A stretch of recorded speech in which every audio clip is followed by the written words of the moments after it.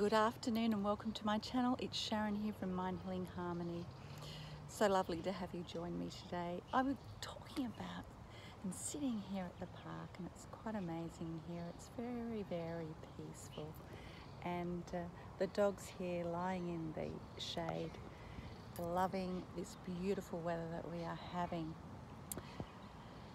I was just sitting here and I was thinking to myself and, and, and it came to me about talking about ourselves and what our expectations are from life and what it truly means. Does the amount of money that we have in our bank account or the house that we own or the car that we drive really drive us to striving for our life? And have we been driven by this to such a state that we now live in a society of debt and we usually associate debt with pain and a fear. It's quite sad really when you think about it because nobody, absolutely nobody should be feeling this way because in our day-to-day -day lives what really makes us who we are? Really makes people accept us for who we are?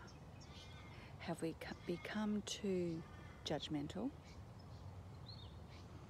I remember when I used to be very judgmental of people at times by the way they looked and thinking, wow, look how successful they are. They've got a Porsche, they've got a massive house, you know, they've got the best of everything.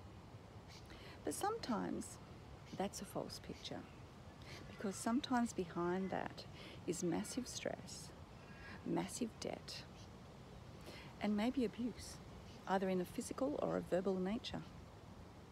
Maybe they're not happy. Maybe there's not much love in the house. So what really makes us who we are? Do you love yourself? Would you still love yourself if you had nothing and you lived in a tent? Would you still love yourself if you had everything that you needed? And when is enough enough? What do we truly, truly need to survive in this day and age?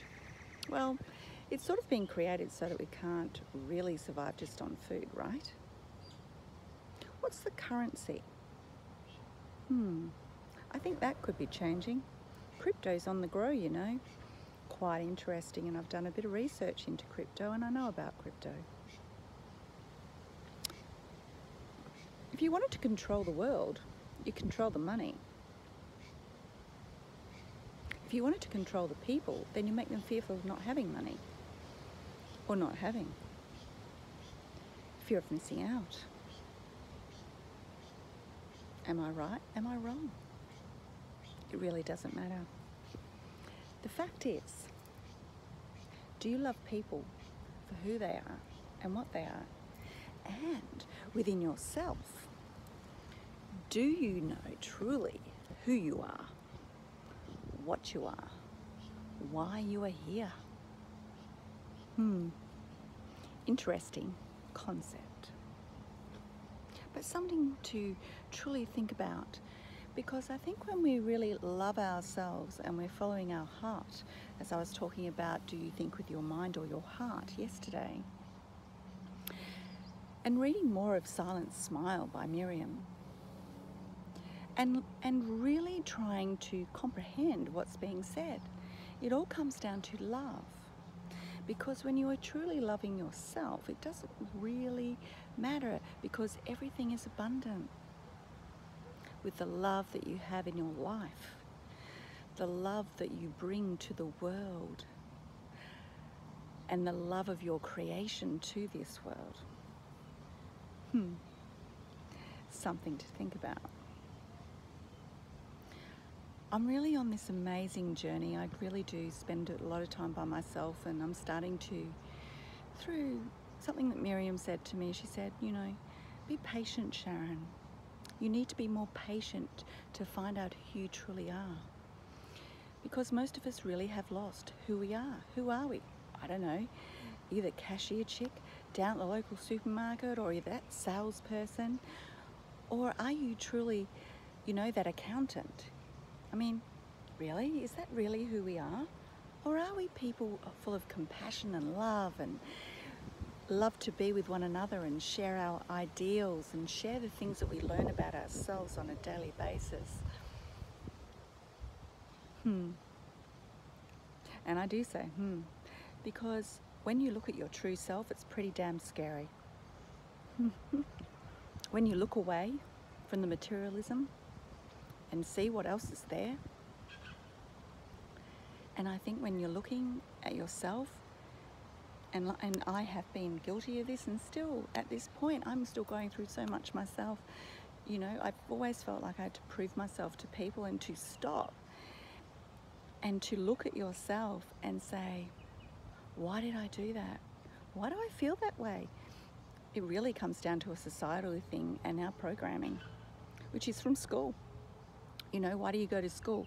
You go to school so you can learn something, so you can become an academic, so you can learn something, so you can teach something, so you can be something, so that you can be successful. You know, because in society, if you have nice things, if you have a nice house, a nice car, etc., then you've proven yourself to society that you have done well. And it is something that was inbuilt to me also, um, non meaningfully, by my parents, you know, because my parents um, did well in life. So then, for without them knowing, and it has nothing to do with them, but everything to do with me and my perception, was that I felt I had all this proving of self to do. But at the same time, I knew that the way the world is now, and has been for many years, there was something fundamentally wrong with this system. You know, what is this world that we're living in? You know, why are there all these rules? You know, why do we have to pay so much tax? You know, why do we have to feel this pressure to do all these things and be a good citizen?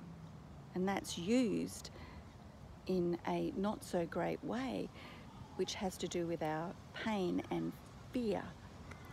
Hmm. So that's a whole nother ball game, that one. Because gaslighting and information out there and how we are programmed through the system is to be a certain way. So become what they want you to become, which is part of their corporation. Quite interesting.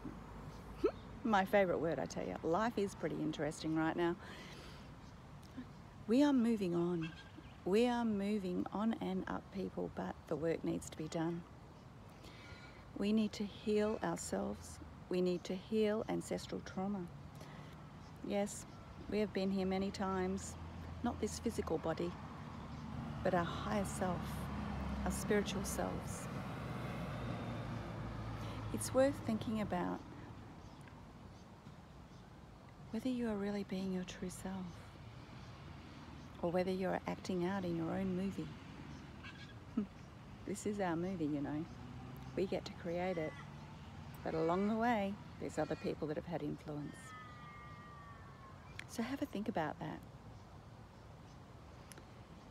And if you like my video today, please do click like and subscribe because I'd love to speak to you again and just ding on that bell because then you can get notifications Thank you so much and I will be putting some more information and doing a little talk on Silent Smile, the book that I'm reading. It's by a beautiful author, author Miriam. It's going to definitely take the world by storm. It's really what we need right now. So if you would like to have a look, I will put the link to Silent Smile underneath this video also today. And you take care of yourself. Have a fantastic day and may the light in me always shine in the light in you. Bye everyone. Take care.